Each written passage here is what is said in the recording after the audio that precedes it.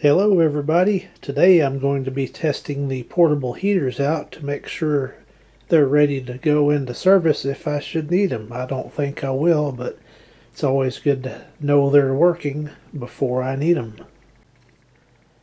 First up is this Pelonis I got for cheap. It's free from a friend. It tripped the limit or the high temperature limit after a few moments. So it's bypassed right now, but it still has the tip over switch but I wouldn't ever run any of these unattended, so it's good enough for me if I need it. Let's try it out. Fan only.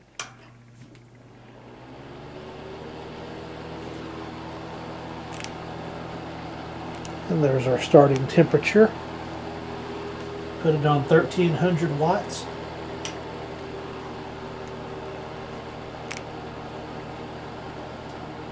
And it's chooching pretty good on 1300 watts.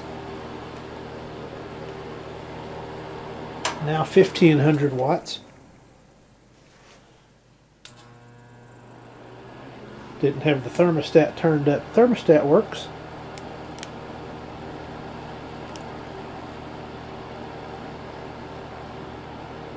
There's that. That really is chooching out the heat try to shoot in between the elements. So about 200 degrees. It's good enough. Now I'll put it back to fan only to cool it down. I don't like to shut it off abruptly and leave the elements warm. So we'll let those cool off a little bit. It's not going to take too long.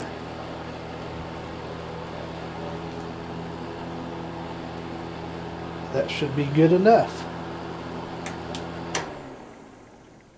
Up next is this Holmes ceramic heater from the 90s.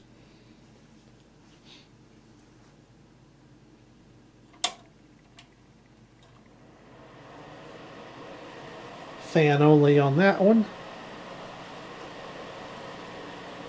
Put it on low heat.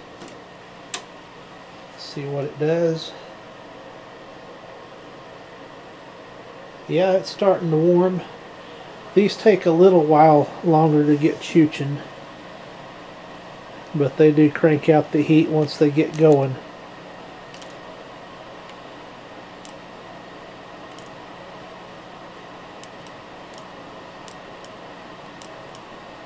See, it's getting hotter. Gradually getting hotter. It's putting out some warmth now. Go ahead and put it on high heat.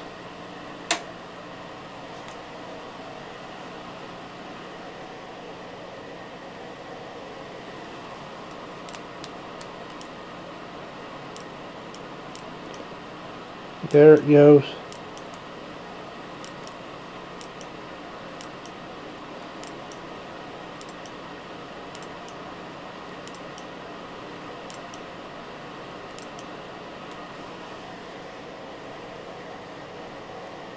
Feels pretty warm.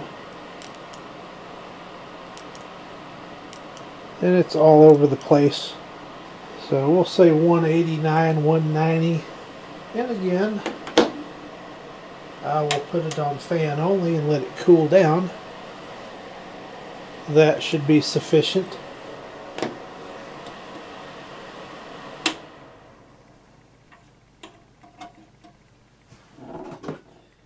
Next up will be this NuTone rig from maybe late 70s, early 80s.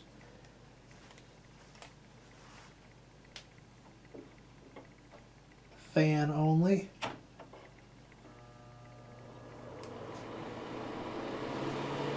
And this one moves some pretty good air for a heater.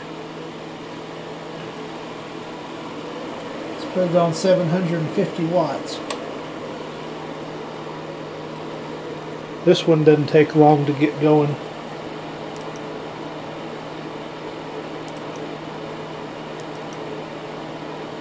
Let's put it on 1500 watts. And you notice the fan slowed down a little bit.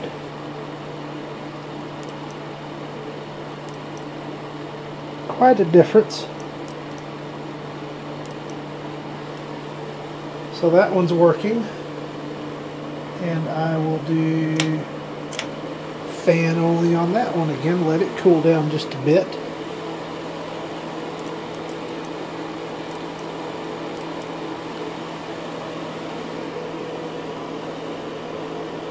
And that should be good enough for that one.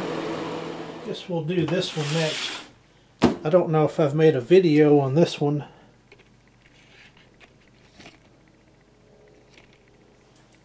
Have no idea, but this is the one we use in the little workshop off, just off the laundry room.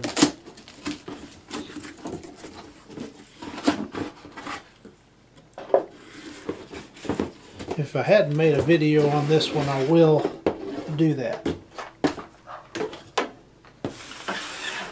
But we're just going to test it and make sure it runs. Do a quick look at it. There's the controls. It's all LEDs. China's finest. It swivels. I don't know what purpose that serves because you can do that pretty easy too. Anyway, let's get it started up.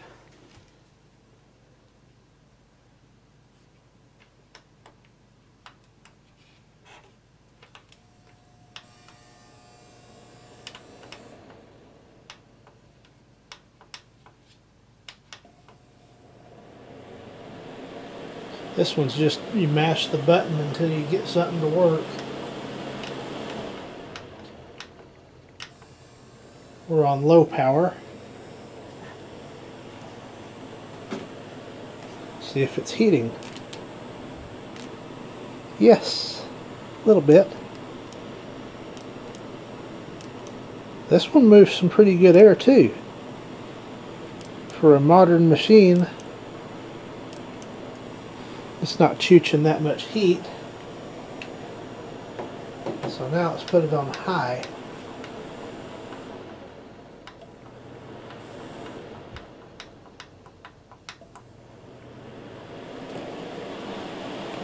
Not a big fan of that control layout. Not only does the heating element go a little faster, the fan does too. But we're not going to get these 200 degree temperatures like from the vintage units.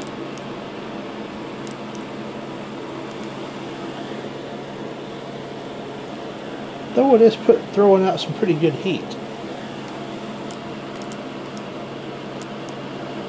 Looks like about 125 is going to be about the, the best heat this one provides.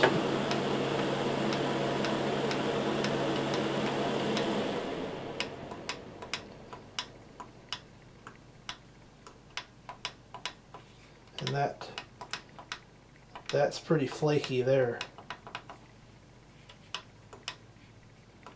That stopped responding, so not too much hope in this one, but it does kind of work. So I guess that just quit working. How about that? At least I got a demonstration out of it. And for the last heater, we'll try this 1950s Toastmaster I found in the trash earlier in the spring. It should be ready to work just fine.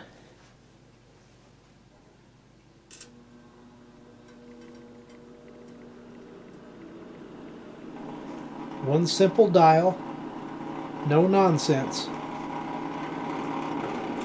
Might need to oil that fan a little bit more.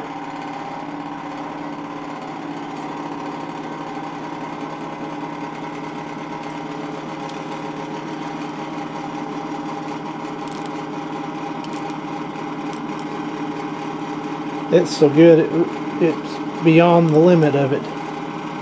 211, 235, 355. This thing doesn't mess around. Might melt the camera if I keep it on too long. Yeah, this this is no nonsense. It just it's a heater. Does what it's supposed to do.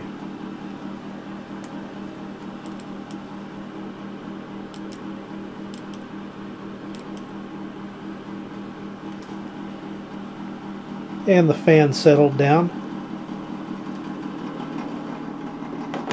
A little bit.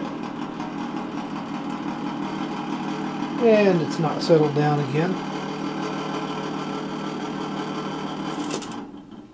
So I'll put some more oil on that.